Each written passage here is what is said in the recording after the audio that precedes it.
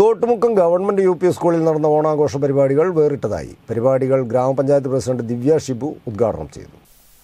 Thottumukkam government U P സ്കൂളിലും ഓണാഘോഷം വിപുലമായ പരിപാടികളോടെയാണ് നടന്നത്. കുട്ടികൾക്കുള്ള വിവിധ കലാകായിക മത്സരങ്ങൾ പൂക്കള മത്സരം എന്നിവയും നടന്നു.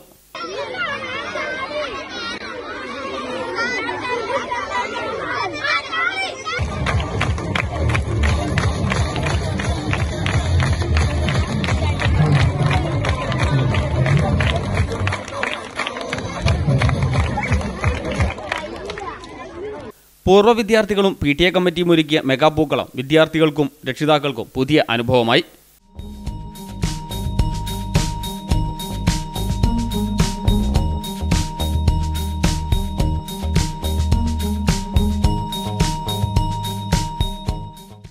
സ്കൂളിലേക്ക് വന്ന രണ്ടായിരത്തോളം പേർക്ക് പായസമടക്കമുള്ള ഓണസദ്യയും നൽകി.